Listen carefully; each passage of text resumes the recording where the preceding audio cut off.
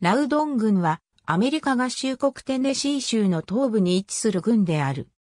2010年国勢調査での人口は48,556人であり、2000年の39,086人から24.2%増加した。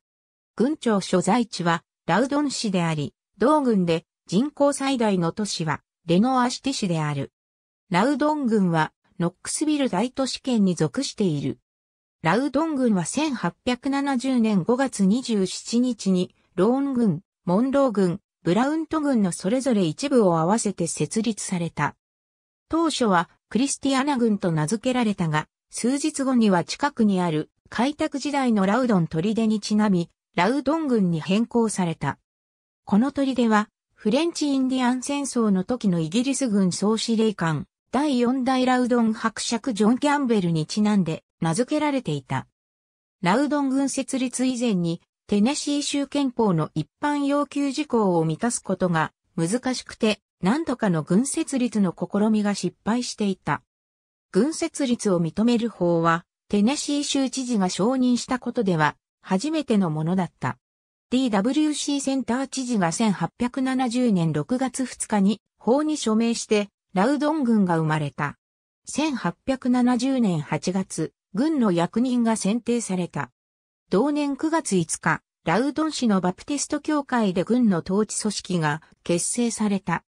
この教会は暫定的な軍政府となり、1872年に JW クラーク兄弟社が建設した庁舎が完成するまで続いた。ジャクソンフェリーに近いグリフィッツの家屋と農園は南北戦争の時代に地下鉄道の駅だったという強い伝承がある。グリフィッツはクエーカー京都であり涙の道の時代にはチェロキー族を援助したとも言われている。アメリカ合衆国国勢調査局によれば、軍域全面積は247平方マイルであり、このうち陸地229平方マイル、水域は18平方マイルで、水域率は7.34%である。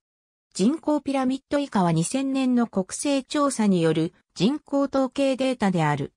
レノアシティを除く軍全域の公共教育はラウドン軍教育学区が管轄している。レノアシティではレノアシティ教育学区の学校で児童を学ばせている。ラウドン軍教育学区は現在児童生徒数型という問題がある。